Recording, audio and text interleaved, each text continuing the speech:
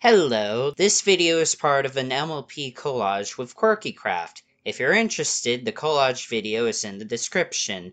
The deadline is August 30th, and the rules are also in the video. Alright, here's the collage itself. I am Hurricane Hunter 03, otherwise known as Addison. Yes, that is my name. I am 15 as of August 2019. I am in Wisconsin in the United States.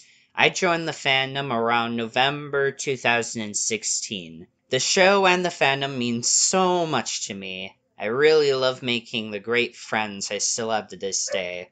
My favorite memory was uploading my World War V video, if that counts. The fandom can only be described in one word awesome. Friendship is magic.